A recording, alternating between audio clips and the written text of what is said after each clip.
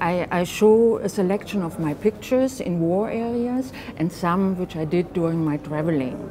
For example, I show uh, one of my famous pictures, the cellist in Sarajevo, and he was sitting in the middle of the city and he uh, played on his cello yesterday from the Beatles. So it's very difficult for me to talk about it because uh, every time I think about the situation and he could only sit there because around it was very foggy. So the sniper couldn't see him and couldn't see us, so they couldn't shoot. Otherwise, they would have shot him like a rabbit.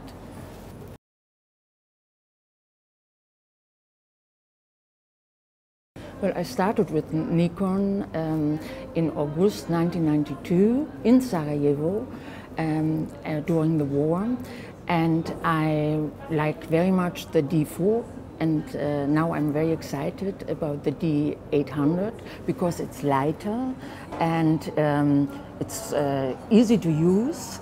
And I was working now just recently in Tanzania and it was great.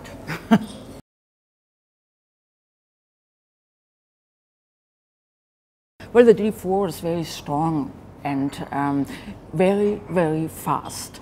And I have to be fast and quickly because otherwise um, they shoot at me and, uh, or I have to run away and, then I see a picture and uh, well, you can trust the D4 is always working.